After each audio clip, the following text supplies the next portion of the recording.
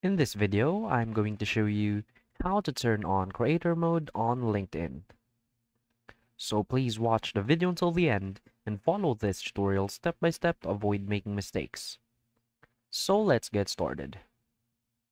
So the first thing you want to do is open up a web browser. Simply go to linkedin.com and log into your account. Now you want to click on your profile name to redirect you to your profile. So from your profile page, you want to scroll down until you see this resources section.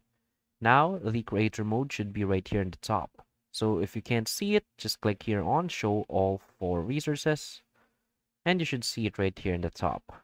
But unfortunately, the creator mode uh, feature is already removed by LinkedIn. So as you can see right here, uh, the change has been done on March 2024. So the creator mode on and off toggle is now removed from LinkedIn.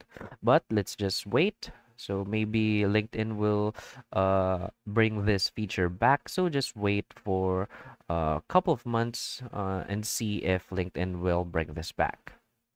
So that's it. So if you find this video helpful, please hit like and subscribe. Thanks.